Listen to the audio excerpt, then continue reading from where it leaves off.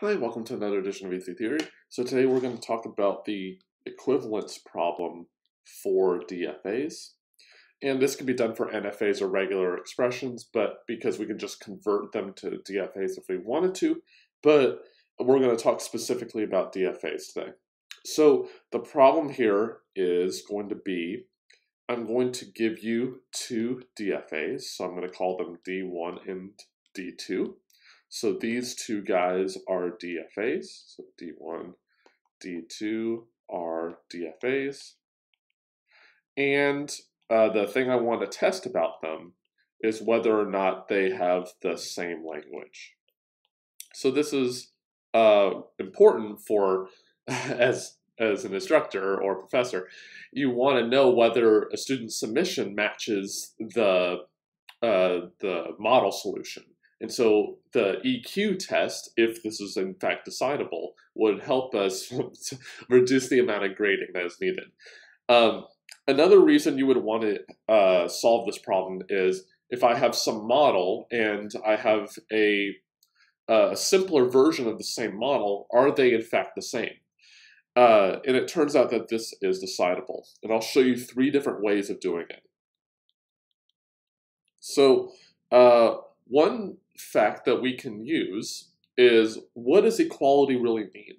So if I have the two languages being the same, like this, if I want to check if two sets are the same thing, then the most obvious way of checking that they're the same is to uh, show that one is a subset of the other and the other one and vice versa. So L of D1 is a subset of D2, and D1 contains D2. So if each one is a subset of the other, then they must be equal. That's the only possibility. So that's uh, one way that we'll actually prove this. So if we look at this uh, set, or at least the expression A is a subset of B, is there another way that we could phrase that? And it turns out there is a very useful one. Which, so this is true if and only if A intersection, the complement of B is empty. And this kind of makes sense because um, this expression down here is saying uh, all the strings that are in A and not in B, there are no such strings. So if you look at a Venn diagram of what the, the this looks like, let's say that this is A and this is B, then this set right here is saying all the strings that are in A and not in B at the same time. And so that's all of this stuff right here. And if we want these two circles to be the same thing, there should be nothing right here. And it actually kind of makes sense if we apply this in the other direction of whether B is a subset of A. That's this stuff over on this side. So we want both of those two sets to be the same. So we want uh, LD1 intersection the complement of D2. So that's everything that's in that D1 accepts that D2 doesn't. I want that to be empty.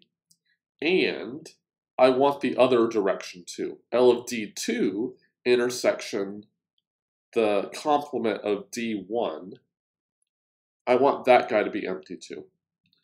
Uh, I want both of these to be empty. And you might think, oh, let's just do the intersection of both of these sets. It turns out that we need to do the union of the two sets. So this is the same thing as saying that if I take uh, the first one, so this is, if I can write it correctly, so this is the first one. I want it to be empty. I'm going to union that with the other guy.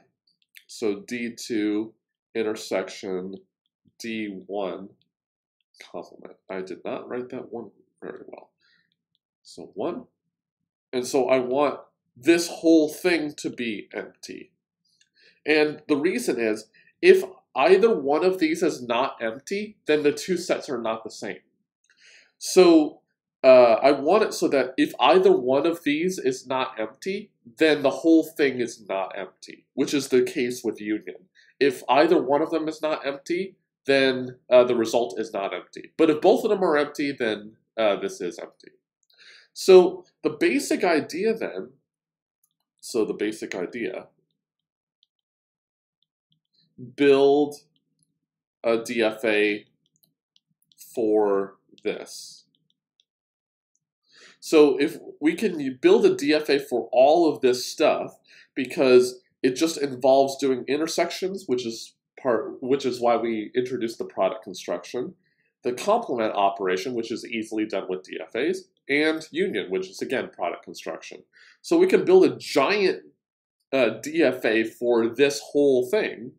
So as this first step, I would just make a DFA for this.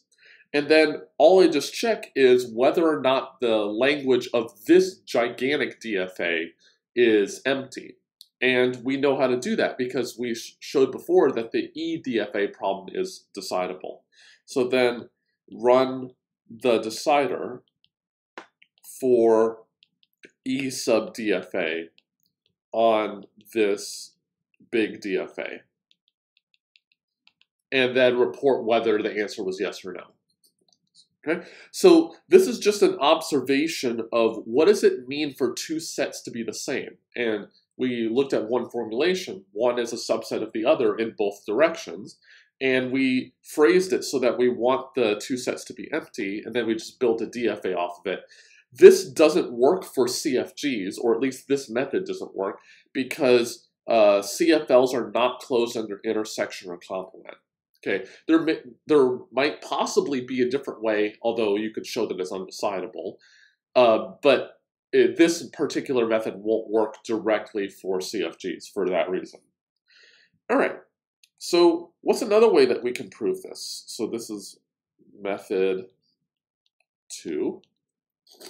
One way that you can do this is, so one fact that you can show about DFAs is that uh, the minimal DFA for language L is unique.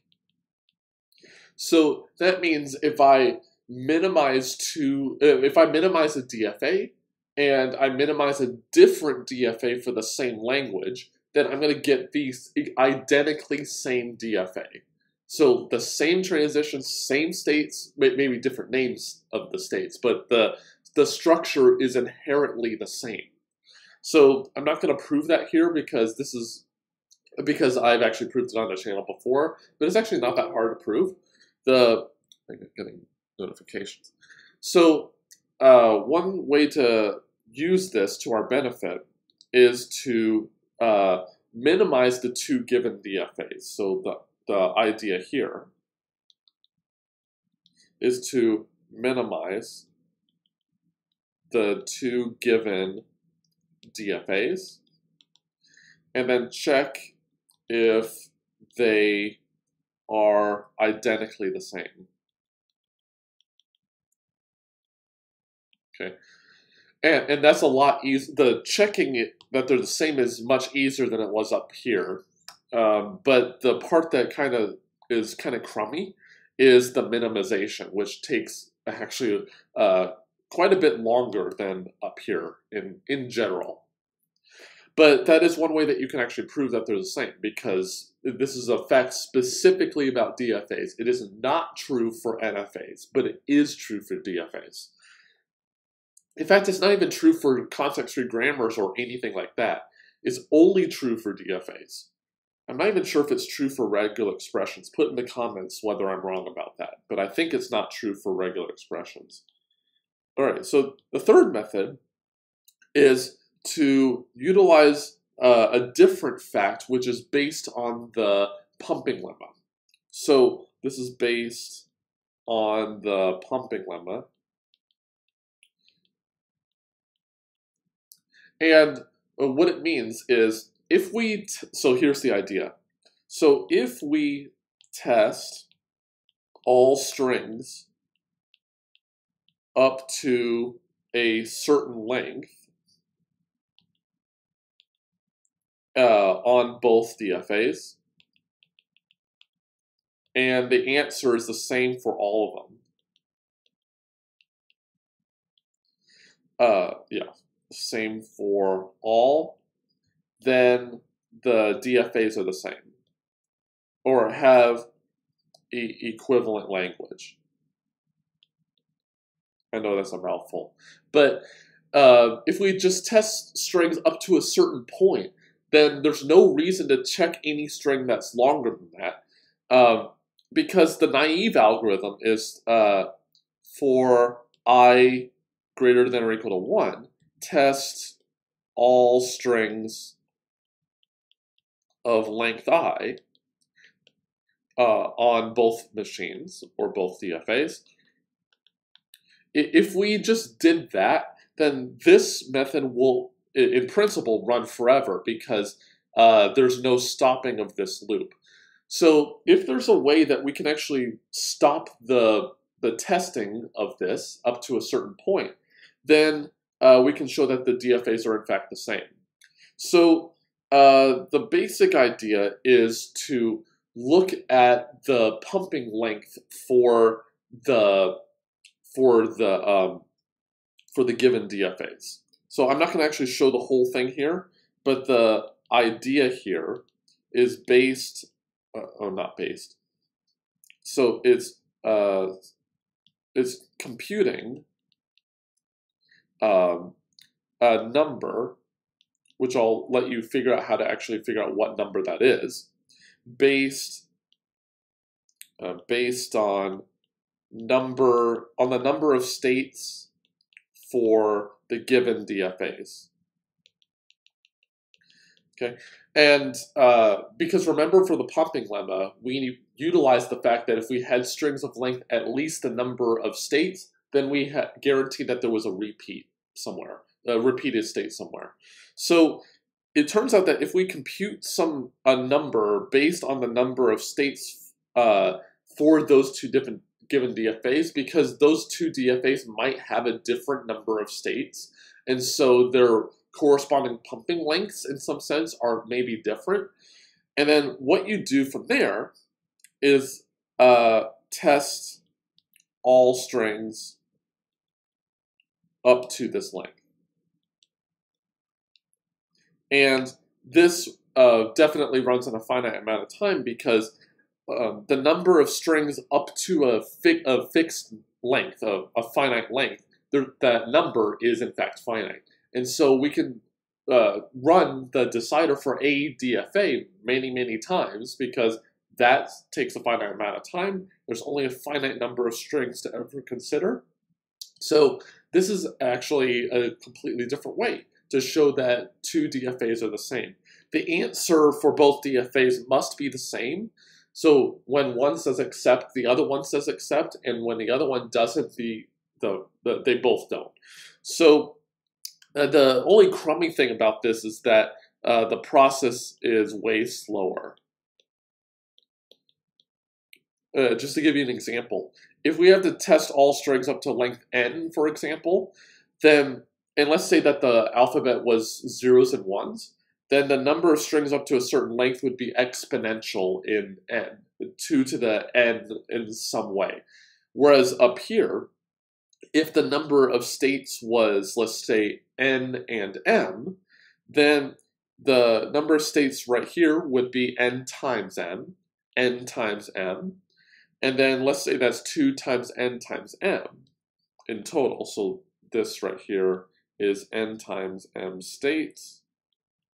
This one is also n times m states because the, the complement operation doesn't introduce any more states.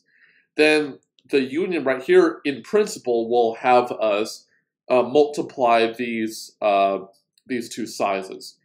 So at the end of the day, we're going to get n squared times m squared states, which is way, way, way, way less than 2 to the n in general. And so this method is far superior in terms of the running time that is needed to solve it. But there are three different ways, in fact, to show that two DFAs have the same language. And in fact, there may be other ways, but these are three simple ways of doing it. So hopefully that was interesting. Leave comments about checking for equality of DFAs into the comments down below. As always, please like the video and subscribe to the channel. It really helps us out.